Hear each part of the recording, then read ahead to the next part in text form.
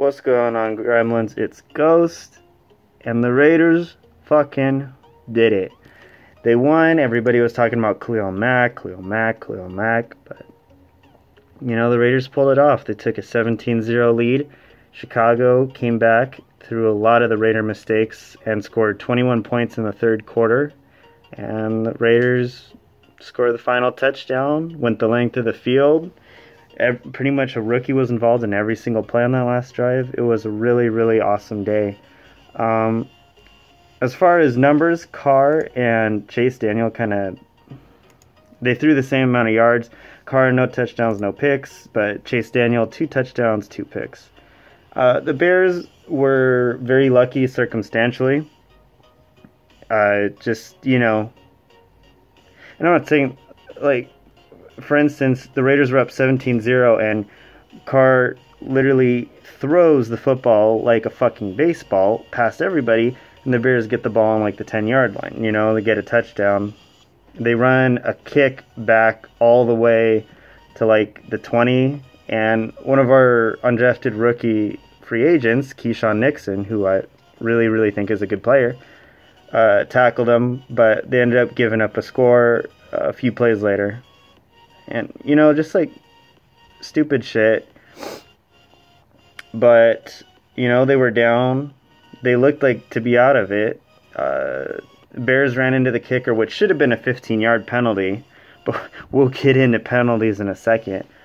And um, so a fourth and six uh, became a fourth and one went for a fake punt with Erik Harris, got the first down, and then from there it was Josh Jacobs. It was uh, Foster Moreau. It was um, fuck Hunter Renfrow.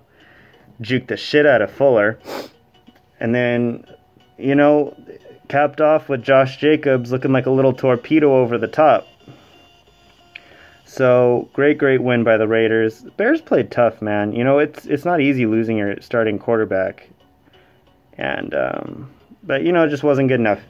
And I don't feel too too bad because pretty much everybody commented on my preview of this game saying, "Oh, Bears easy win, Bears easy win, haha, lol." And then after the fact, they're all like, "Oh, well, we're injured." Yeah, we have a lot of injuries too, man. So it is what it is.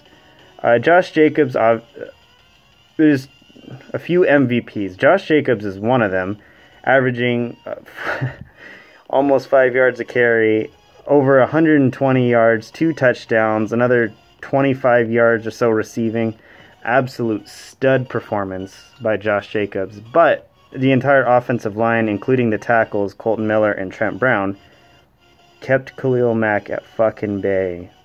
Zero sacks, a few tackles, and a fumble recovery, which is nothing against Mack. I mean, his hustle was. He really, really tried the whole game. And he, people were talking shit about him online. If you talk, sh- if you're a Bears fan and you talk shit about Khalil Mack, you're a fucking idiot. Like that's just that is what it is. Um, the Bears defense played tough, but you know the Raiders, the Raiders really came to play, and they showed that you know last year they won four games, and they could only win you know, but they're three and two to start, so that's definitely an improvement. A lot of it's owed to Josh Jacobs, but the whole rookies, man, all these new guys. You know, Foster Moreau had a big impact. Hunter Renfrow made a super big play.